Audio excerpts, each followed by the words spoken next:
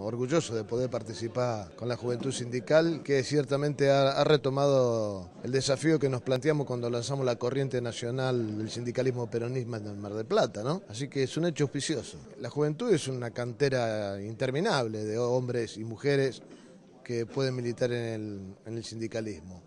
Y además porque tienen la frescura propia de la edad y, seguramente eh, el aporte de, esta etapa histórica, ¿no? una etapa histórica yo diría casi mágica, donde se han recuperado situaciones y conceptos y valores que parecían perdidos. Excelente.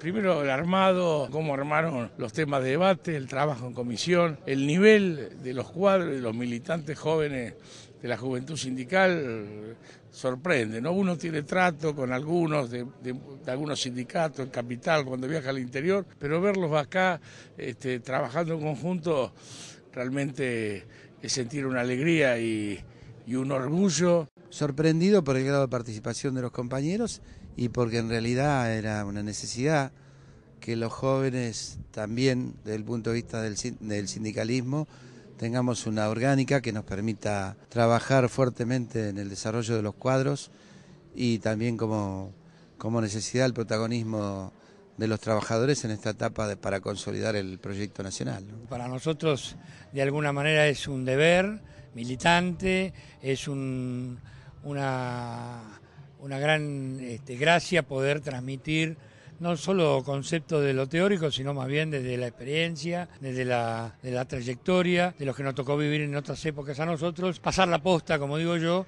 hacer el trabajamiento.